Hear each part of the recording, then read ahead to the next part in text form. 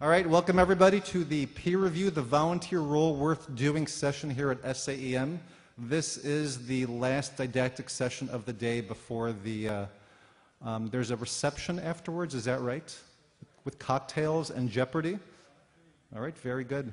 And the current, or have you handed off your um, role yet? Handed it off already? All right. The immediate past president is here, so this is going to be a credible, excellent presentation. Okay?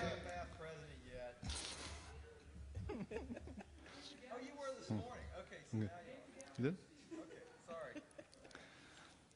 We are going to include full audience participation. I have a microphone. I am going to be running around the audience asking for folks to volunteer this manuscript review session. I've got a sign here that says seating available in this row. There's plenty of seats up front, okay?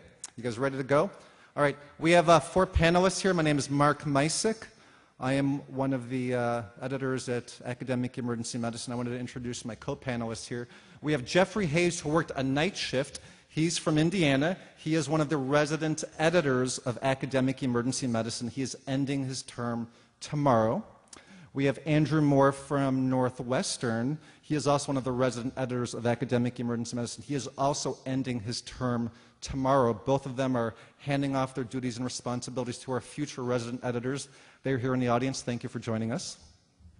And at the very end, there's a man who needs no introduction. I'm going to introduce him anyway. It's uh, Jeffrey Kline. He's the editor in chief of Academic Emergency Medicine, and he is a very busy man. He is the only one here who has to disclose something. I believe he gets a few coins from uh, SAEM to uh, buy some coffee, I guess, as a stipend for being the editor of what is a pretty good journal. Okay? So at the end of this session, we really want everybody to understand this peer review role, which is mysterious and opaque and shrouded in mystery.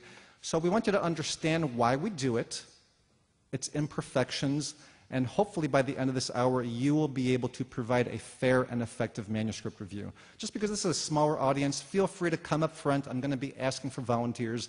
I'm going to ask for a raise of hands right now. Who here is a student? Okay, all the way in the back. Very good. Come closer. All right? You're a future resident, hopefully. We want to know your face. We're going to be recruiting you for joining us. All right, who's a resident? We have some residents here. Excellent. Do we have some fellows? Excellent. Do we have some faculty members? Okay, excellent.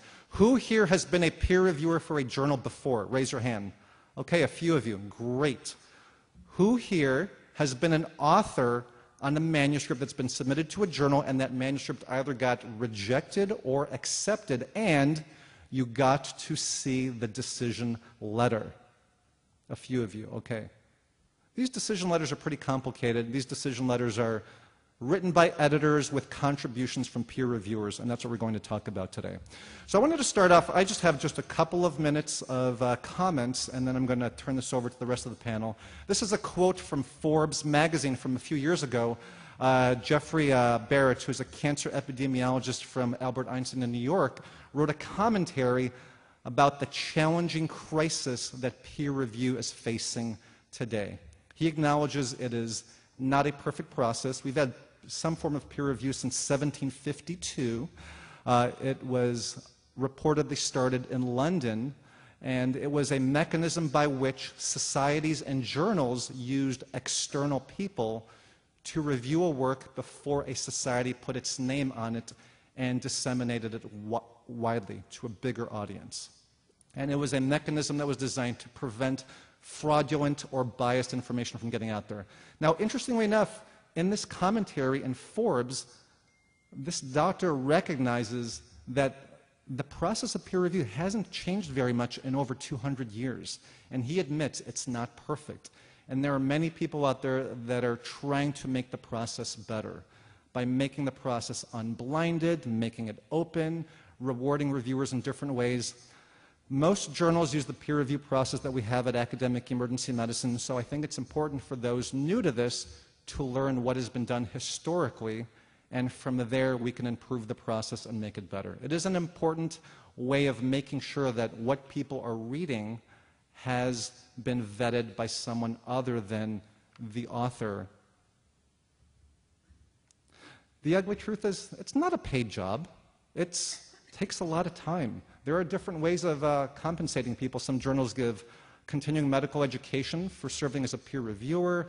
Um, some journals will acknowledge your service by asking you to review even more if you're a really good reviewer. And then one of these days you get invited to join an editorial board and you become an editor in chief, which is pretty cool. If you do good work, like in emergency medicine, you are invited to do more work.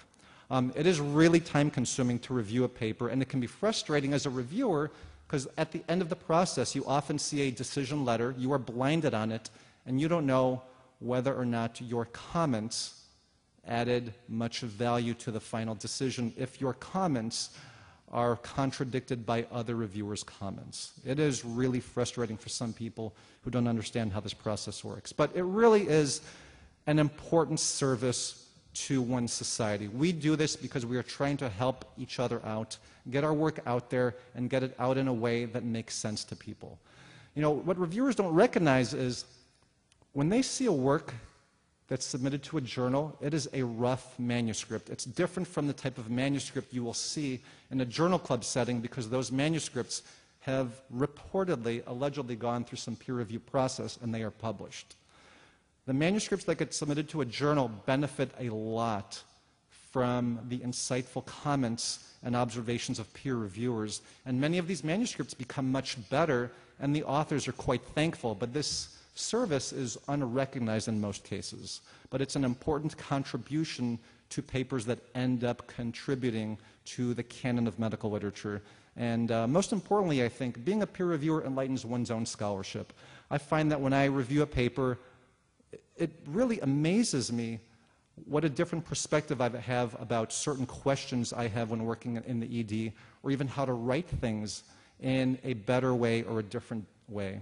I think one of the most uh, rewarding parts about being an editor for this journal is seeing an outstanding review submitted to the journal, especially by somebody who's younger and newer to this process, because it really confirms to me why we continue doing this. It's really important. We need to be good about it, and we need to help each other out. So I just wanted to end with this title. This is a real title from an editorial from another journal. And in this journal, the editor in chief was asking the readers of that journal that they need to remember when they're asked to be a reviewer, they have also been an author. And these authors put their hearts and souls into doing their studies and writing their findings up and submitting them to a journal. So if you're going to review a work, you need to be professional and collegial and constructive because we want to help each other out and make the process and ultimately make patient care better. Okay?